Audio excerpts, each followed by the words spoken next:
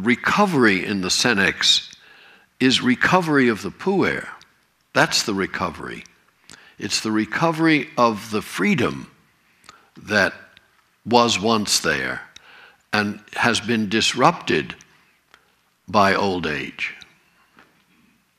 So it's whereas it seems as if you're more limited, less able, more trapped, more caged, uh, more dependent, uh, and unable. At the same time, there's something about freedom that happens.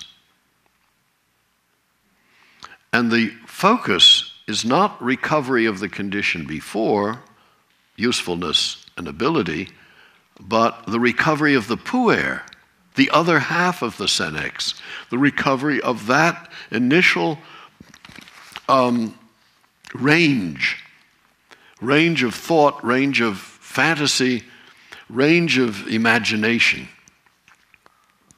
And that's why I think in the old pseudo Aristotle text, it was considered a furor melancholicus that the mind of the, of, of, uh, of, of, the senex, of Saturn, it was this, those under the rule of Saturn, was, had the farthest range of all.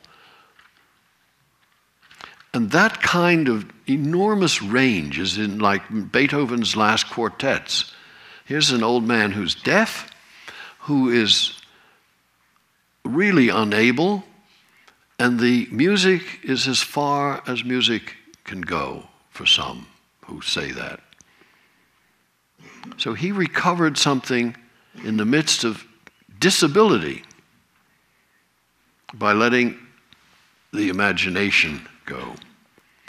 But that imagination had spent many, many, many years working his gift. All the years prior, working his gift.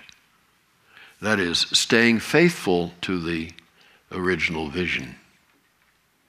And that's the, the, the, important thing. It isn't being related to your partner or being related to all the things that we use the word relationship for and drive the poor man into a frenzy of anxiety, uh, but being related to the calling, to whatever that strange thing is that wounds him and names him.